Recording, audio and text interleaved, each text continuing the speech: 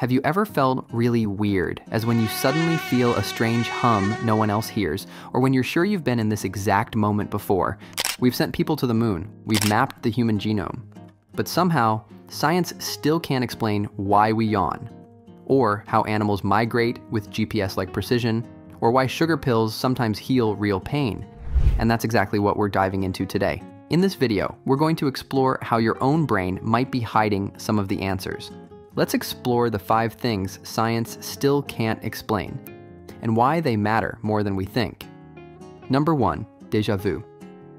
Have you ever walked into a room, looked around, and thought, wait, I've been here before? Even though deep down, you know you haven't. That weird, almost eerie feeling is called deja vu, which literally means already seen in French and it's something that around 60 to 80% of people have experienced at least once in their lives. But even though it's so common, science still doesn't fully understand why it happens.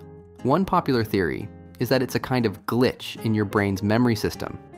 Basically, your brain accidentally files a brand new experience into your already happened folder. Some researchers believe it might be your brain processing the same information through two different pathways, but one gets slightly delayed. That tiny delay makes the second experience feel familiar, even though it just happened milliseconds ago. So your brain is syncing and it hiccups. Imagine you're sitting in a cafe in a city you've never been to. You glance at the barista, the way the light hits the floor, the music playing in the background, and suddenly, boom, you feel like you've lived this exact moment before. But here's the thing you haven't, at least not in the physical world. It might be your brain recognizing patterns. Maybe the smell of the coffee reminds you of your childhood home, or the music matches a memory you can't quite place. But instead of fully retrieving that memory, your brain just gives you this weird blend of familiarity without context. We usually think of our memory as something stable, something we can trust, but deja vu reminds us that our brain is always making guesses, trying to piece together what's happening right now using memories from the past. And sometimes those guesses get scrambled. Number two, why we yawn. Okay, if you're watching this right now, you've probably yawned at least once already. And if you haven't, you probably will in the next few seconds. Because yawning is contagious. And that's just the start of the mystery. For something we all do every single day, sometimes multiple times an hour, science still can't agree on why we yawn. We've figured out how to clone animals, build brain computer interfaces, send robots to Mars, but yawning? Still up for debate. There are a few leading theories that might interest you. One idea is that yawning helps cool down the brain. When we're tired, stressed, or overheated, a yawn might bring in a rush of cool air to regulate our brain's temperature, kind of like opening a window in a stuffy room.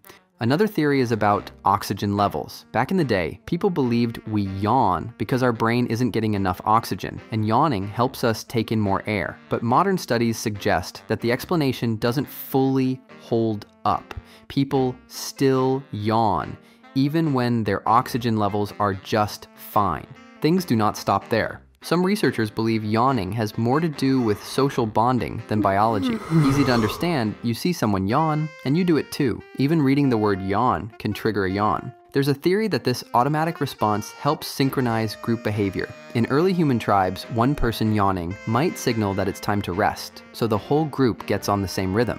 Even more fascinating, studies show we're more likely to catch a yawn from someone we're emotionally close to, like a friend or family member, than from a stranger. So maybe yawning is a quiet empathy from a very long time ago. But the truth is, there's no single proven explanation for yawning. Scientists have tried everything. They've scanned brains, tracked temperatures, even tried to make rats yawn on command, but the results are inconclusive. And that's what makes yawning so interesting. It's so normal that we stopped questioning it. But once you do, you realize just how mysterious this everyday habit really is. Number three, the hum. Sometimes, especially in the midnight, while everything is quiet than ever, you suddenly hear a deep, low hum, like a truck engine idling far away. You try to ignore it, but it's there, and you realize you're the only one who hears it. That's the hum, a mysterious low frequency sound that some people around the world claim to hear. But that science still can't fully explain. Reports of the hum have come from all over Taos, New Mexico. Bristol, England, Windsor, Canada, even small towns in Australia and India, it's usually described as a droning, vibrating noise, between 30 and 40 hertz, just low enough to be creepy, and just loud enough to keep people awake at night. But no one can find the source. Some scientists think the hum might be caused by industrial equipment, electromagnetic waves, or even ocean activity. Others suggest it's a form of infrasound, frequencies so low they're hard to detect with the human ear, but still felt by the body. But not everyone hears it. Two people in the same room, one hears the hum, the other hears silence. So researchers have started asking, could this be something happening inside the brain instead of outside? One idea is that it's a kind of auditory hallucination, a misfiring in the brain's hearing system, possibly triggered by stress, anxiety, or sensory overload, almost like tinnitus, but lower and stranger. Number 4. Animal Migration GPS. Most of us have gotten lost at least once, even with Google Maps in our hand. But birds, turtles, whales travel thousands of miles across oceans and continents without phones, without maps, and still arrive at the exact beach, lake, or forest they were born in, sometimes years later. That's one of the biggest mysteries in biology. How do animals know where to go? And how freaking they get there? Scientists have uncovered some clues, but nothing that fully explains this insane level of precision. Some animals seem to follow the position of the sun during the day, others use stars at night. Some species pick up on scent trails, ocean currents, or even low frequency sounds humans can't detect. And there's growing evidence that many animals can actually sense Earth's magnetic field, almost like they have a built in compass. Sounds like science fiction, right? But pigeons, sea turtles, and salmon all show signs of magnetoreception, the ability to detect the magnetic field and use it to navigate. But the weird part is that we still don't know how their brains actually do it. Let's talk about sea turtles for a second. These little creatures hatch on a beach, shuffle into the ocean, and disappear for up to 20 years. Then, without GPS, without parents, without ever seeing a map, they return to that exact same beach to lay their eggs. Scientists believe they imprint on the magnetic signature of that beach as babies, kind of like memorizing the scent of home, but how they store that memory for two decades still blows our minds. We know the outcome. These animals find their way with jaw dropping accuracy, but we don't fully understand what their brain is doing. There's no single GPS center in the brain. Instead, it seems like animals use a mix of visual cues, magnetic fields, infrasound, and internal clocks, a complex combo that humans still can't replicate. Some researchers are even looking into whether animals have something like a quantum sensor inside them. But that's still deep in the maybe zone. This mystery reminds us of two things. Nature is still way ahead of us in some areas. There's so much about the brain, not just ours, but every living creature's, that we still don't understand.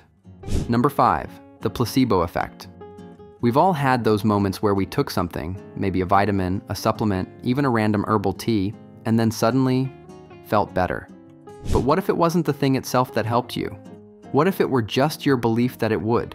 That's the placebo effect a phenomenon where something fake can still produce real results.